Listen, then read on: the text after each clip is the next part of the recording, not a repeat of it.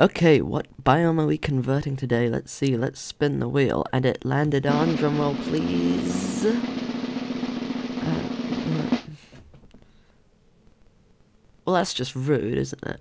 So after being bullied by the Wheel of Fortune, I decided upon this biome for a couple of reasons. One, it's honestly probably the easiest one on my list, but let's ignore that reason and go to reason number two. This biome was added 10 years ago in 2011 and it really hasn't gotten any attention after that, and I think we need to fix that. Now, there's very little actual terraforming that I think needs to be done, but I do want to make the mushrooms a lot more interesting, just because this is a little bit repetitive and boring, and just I, I like building mushrooms, I guess, maybe. So I'm going to start by using the brush as a cylinder, just like this. That's, that's looking pretty good. And I'm just going to do that a few times. And then I'm going to change this down to a 2. Yeah, that looks pretty good. But I think I'm going to do 2.5 like that. And then redo. Oh, almost got stuck. Yeah, that looks good. So I've continued it all the way up to the top here, getting slightly thinner each time, and I'm just doing the finishing touches there. And that's a decent looking stem. It looks a bit wonky, but I think we can work with it. I'm going to do the arms just like that. Pretty much the same type of thing as how I did the top, doing a cylinder, just like that, doing a 0.5 by 3 cylinder. I can't really do a 0, so I'm just going to manually do the top there. Okay, it kind of looks like he's flipping me off. that looks a little bit better and more natural, so I'm going to do the same type of thing, just down here. And yeah, that looks pretty good. There we go. So now I'm going to add this block over here, red mushroom block, on top to add the cap. And mm, there we go. That's the wrong block. Red mushroom block, not mushroom stem. And I dropped my axe. I mean, okay. And I did it again. Let's try again. Do that and that's a little bit flat for the top. So I'm going to do something like this make it that little bit smaller 3 or 3.5 yeah. Like that that looks, that looks good. So if I do 2.5 just to round it off a little bit quicker. And then I'm going to work the same thing all the way down to 0.5 yeah, I'm liking that. That looks really, really good if you ask me. Okay, now using the minus h, I can make it hollow. And now, this might not look too good just like that, but if I do it properly, I can get it to look like this, which is looking really great. Now, I'm probably going to work with it a little bit more um, to just kind of round it up a bit. But what I'm going to do now is I'm going to kind of bring it off in two different directions. And hopefully it will look much more natural. Okay, this is looking really, really good. Now, the inside is um, a little bit hideous, but that bit doesn't matter, I decided. The bottom looks really flat and awkward like it is, so I just need to bring down the bottom to make it look more natural. This looks really weird. Wait a second. Okay, this is looking really cool now. Now, I've variated it, and I want to put some weeping vines, because the color kind of matches, and that one on its own looks really awkward. But if I work with it, I can probably get it to look pretty good. Okay, so this is actually looking really, really good now. The back looks like a piece of shit, but we're just going to ignore that because that's how pro builders do it. No, we're not. It's looking really plain, and we need to add some of these blocks to spruce it up. I'd say this is looking pretty good now. Uh, what I want to do now is get some, let's go white wool, and add in some spots. And then the finishing touches. And now that mushroom is done. And I would take a look at it with shaders, but someone pointed out that it's almost kind of cheating to the... Mm, right, as I was saying, uh, this is looking really good. It's time to get on to the next one. Is it cheating to, to just like do that? Can you tell that it's just copied over? Eh, not really. I think that works. But I am going to legitimately do one more over here. Since this one was a little bit repetitive and boring, I decided to do it in the form of a time lapse. And as you can see here, I figured out a much better way to texturize it, and it kind of does it automatically. As you can see, I started off a little bit slow here, but it sped up, um, and actually I think I am slowing down the time-lapse footage at the same time. Um, but that's a very tall stem, and you'll see why, because this one is going to be a brown mushroom. Now the way I've done this, you'll see I've done the same auto texturizing tool, but I've done really wide, flat cylinders, and each time I go around it's one layer further down, and it's created this really nice, well, mushroom shape. Uh, then the next thing, you can see I brought it quite low down, then I bring up the arms at the side, obviously I need to cap them off, just kind of the same way, and we're done. Three gigantic mushrooms, this is pitch black down here, but uh, I'll I'll deal with it later because that's kind of how I'm doing things here. Next stage is to create medium-sized mushrooms that I'll copy and paste around a bit. So for these ones, I've done the same kind of thing as the stem, but what I'm going to do is I've created this combination, which should create a pretty good uh, red mushroom cap. And you can see I've got some white wool in here to try and create the spots.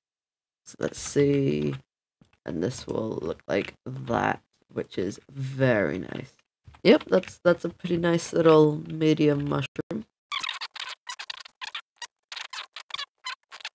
Now, even though these mushrooms do look very small in comparison to these, remember that this is still about the size of a house. Nice, looking pretty good if you ask me.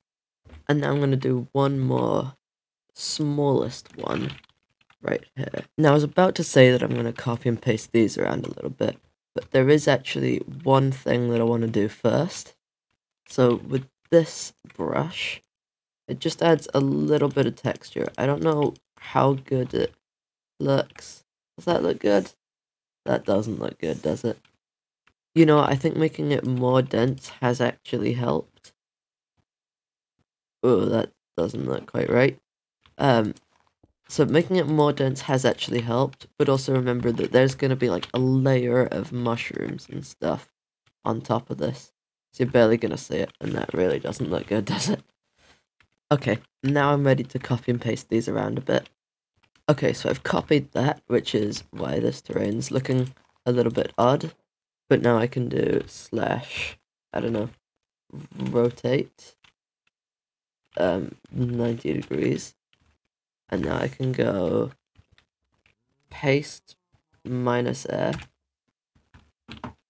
and boom I've got another mushroom. And because it's rotated it does it looks slightly different from that one even though that angle is the same as that it still it works.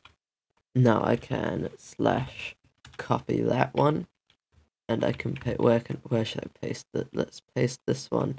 Actually, no. I've just realised I've made a mistake. I can't be standing all the way out there when I paste it. When I copy it, I need to be standing here when I copy it. And now I'm gonna do I don't know slash is it flip just to mix things up. I'll paste it here. Why not? Uh, paste minus A? And I've pasted it right into a mushroom. Uh, I'm gonna do need to do a little bit of terraforming, it seems, but it's definitely the quickest way to do this. Now I'm gonna do a brown mushroom over here.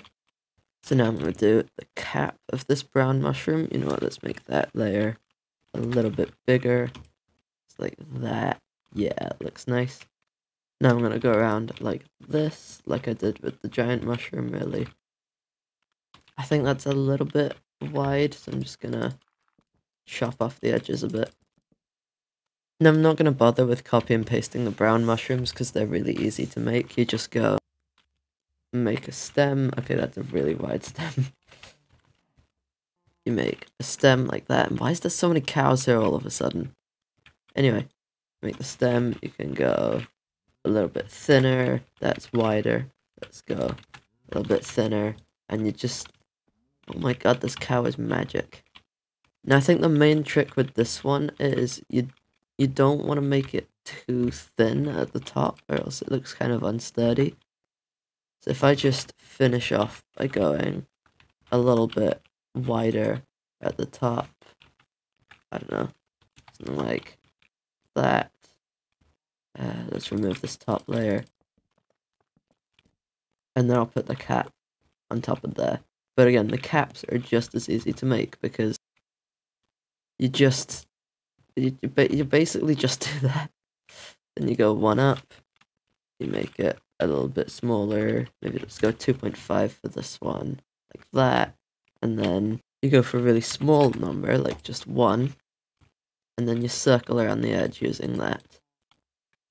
Maybe for the bigger ones, you can go around again with a slightly smaller one. And boom, you got yourself a mushroom. Now I'm going to do the same thing one more time, just over here.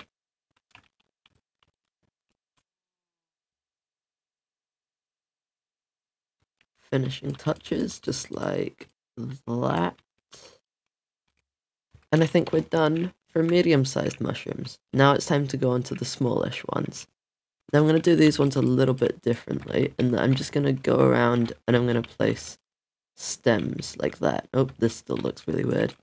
As I was saying, I'm just going to start by placing stems like this, and then afterwards I'm going to go around and cap them all. Now that we've got all of those stems, I'm going to go around and cap them all. So I'm going to take the red mushroom mix, except I'm going to do a sphere this time. And what are the parameters for sphere? Uh, okay, so on a few of them, I'm going to go like that for the cap. I think that looks pretty good-ish. I don't know. I think I like it. And then for other ones, I'm going to go slightly bigger. Let's see. Yeah, I think that looks good. The this, To be honest, that looks quite similar to the vanilla ones. But hey, I still think it looks pretty good. Actually, you know what, that probably could do with a smaller one. And then for the other ones, I'm going to take the brown mushroom mix, and I'm going to go two like that. And then, yeah, should I go? I, you know, I think I'm going to go three and two. No, oh, okay, three and two but then I remove that layer. I don't know. Or maybe instead of doing that, I could go three and one. And then on top of that, I can go two and one. Okay. Yeah, like that. It's a little bit, it's a, it's a little bit extra steps, but I think it looks good. In places, I'm going to do little mini ones like this. Yeah, that looks good. Okay, this is looking really, really cool now. Um, there's, I think the last things to do is going to be detailing the floor a little bit more, adding a bit of depth and foliage around. And I also want to figure out a way to light this up because this this is not okay. Since mobs already don't spawn in these biomes, I think it'll be fine to have the entire thing constantly illuminated by... Uh, it's kind of in the name, and that's shroom lights. Yeah, so just everywhere I'm gonna dot this. I think that might even be a bit too dense actually, so I'm gonna go for five instead. And yeah, I think that's pretty good. So just it's just going to start basically slightly illuminating anywhere that I click. Now I know this cool trick that will actually help with both decoration and lighting because these little fake tiny mushrooms that are not quite as tiny as the as the you, you know what I mean. They help light things up as well, so I kind of didn't need the shroom lights. Um, but I was to add these anyway, to be honest. And I just think it should help add to the feel. yeah. Okay, I think we're almost done, and now the last thing to do is to add the little house here, and I cannot take my eyes off of that. And like that, I think we're done. And with that, I think we're done. I'm really, really proud of this. I had an amazing time making it, and I hope you had an amazing time watching me make it. And I hope it inspires you to do things of your own. And please subscribe if you want to see me convert another biome. If you enjoyed this video, please do like and subscribe. It means so much. You can't, you can't imagine how much it means. Anyway, I've been Glitched GSDGM. You've been awesome. I'll see you next time. Wow, you stuck around all the way to the end. I really appreciate it. You know what I'd appreciate more? If you'd liked this video. I'm just here to say that I probably won't be releasing a video for the next two weeks because one, I'm going on vacation, and two, with Downfall just around the corner, I'm kinda stressing out. Now you might be wondering, what is Downfall? So you know how a while ago I did a YouTube short advertising a Demise SMP? That got rebranded to Downfall because someone beat me to the name Demise. And it is starting in two or three weeks. Can't wait to see you there. Have a good one.